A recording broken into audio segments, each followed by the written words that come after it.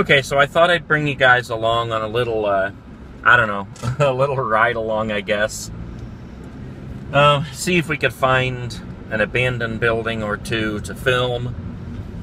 I just went to one, and it's the hardest thing for me when I pull the door and it comes right open in my hand, and there's like nobody on site to give me any kind of permission, um, you know, to go in and film. And I just am not in a position in my life where I can chance walking in these places and getting arrested or getting fined. And it's not just a matter of getting in and getting out before you get caught. It's a matter of when somebody sees the video if they decide to press charges.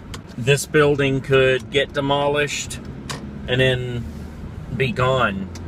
And in five years, I could get a subpoena.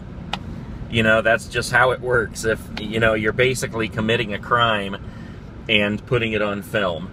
So, I don't know. I don't quite understand the people who do that.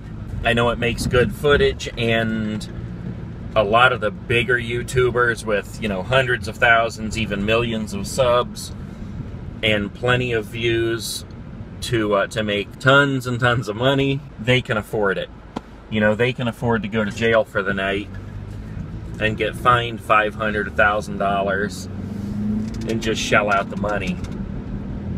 But I can't. so we're gonna head over here where I believe there is an abandoned uh, like railroad depot. I drove past it one time and I wondered what it was. And my girlfriend was with me. and I make her go with me on these adventures way too often. She always sits in the car and waits for me. Never complains. But I don't like to do that to her. So go see if we can find this place. First, though, I see an old Pepsi sign. Let's get a shot of this.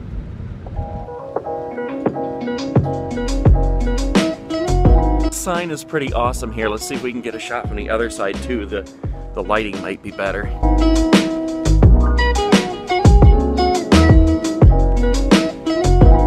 Check this out too. Right across the street from, uh, from the Pepsi sign is an old freight station, which apparently is still in operation.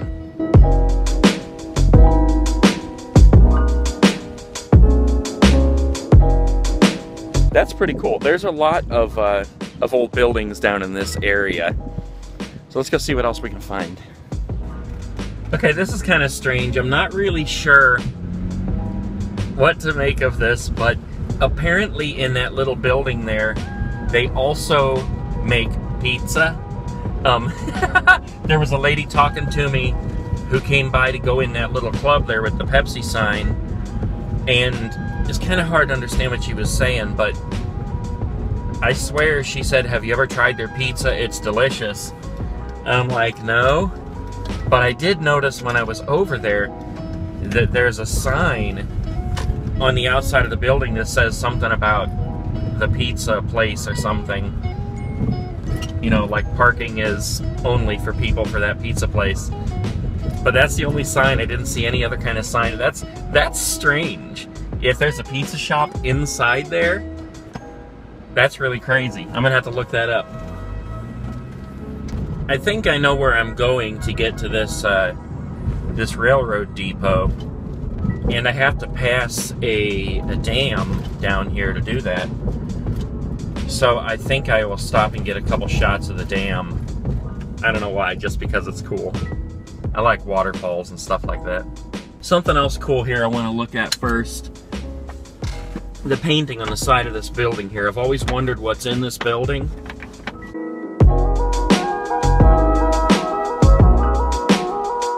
Looks like part of it might have been like an old tobacco ad or something. And the old reliable, I'm not sure what that is. I can't make out what it says up there. Some more marking on the other side of the building here I'll get. Uh, but if any of you watching are from this area, I'm in Uhrichsville, Ohio, and you know anything about this building, let me know. I'd love to know what at least used to be in there. I would love to get inside there and film a little bit at some point. But it looks like it's just completely abandoned now. There used to be a church down below. And it kind of looks like everything has totally vacated out of there at the moment. So I don't know if that's ever going to happen. But let me get another shot over here for you.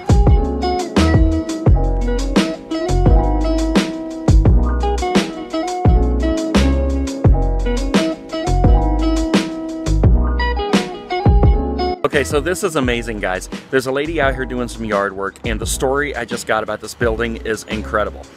Um, she gave me a name, I believe the name was George Crest. She said that he used to own that and it was an automobile dealership. She said this down here was all like a big showroom for all the cars.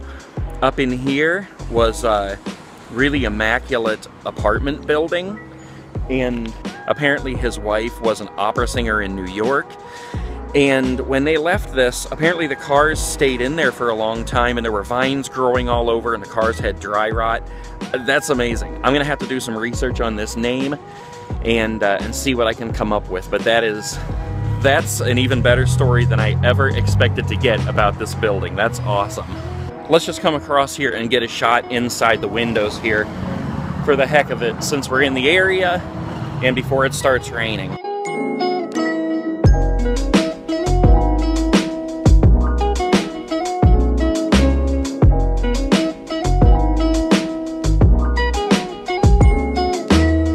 Now there are a couple of different uh,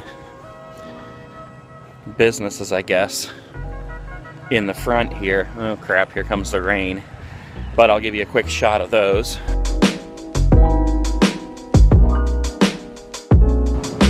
If I ever have a brick and mortar store, I definitely want to have some windows like this so that I can set up awesome displays in there. Let's take a look inside here.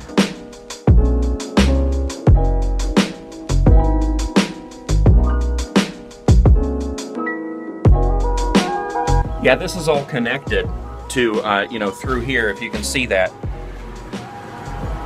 Like where I got a shot from the other side of the building there.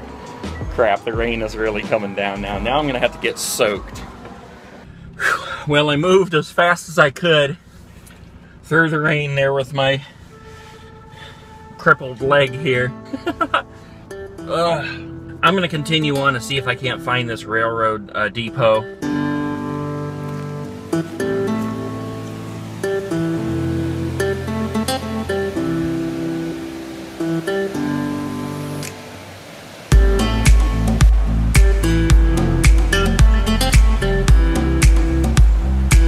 Okay, I think I found it here. Um, it's definitely an abandoned depot. I'm not sure if it's the B&O or not, but I'm gonna get out and take a couple pictures even though it's raining. All right, I can't, all right, I can't help it. There's a open door over here. I just wanna go peek in.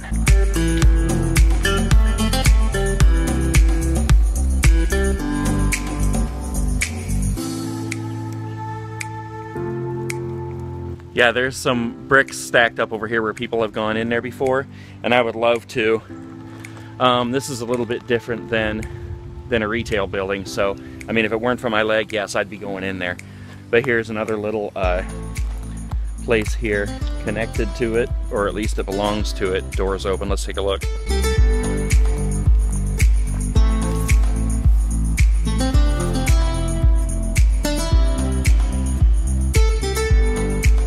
That's the best we're gonna get of that right now. Let me go around and get a shot from the other side here. I'm already wet. Ooh, you can hear that thunder coming.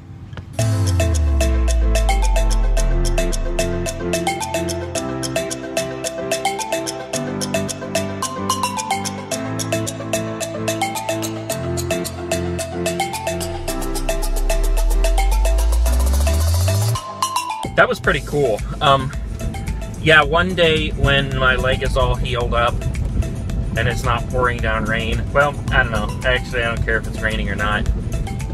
But one day when my leg is healed up, we'll go back to that station and, and I'll climb up in there. I'm just curious what's in there, how it looks. So, All right, the rain's really starting to come down now, so we'll just call it a day on this. It was a fun little adventure, you know, a fun little uh, ride along. And if you guys like this and you'd like to see some more, let me know, and um, and we'll do some more. This was uh, this was pretty cool. I'll see you guys later. Peace.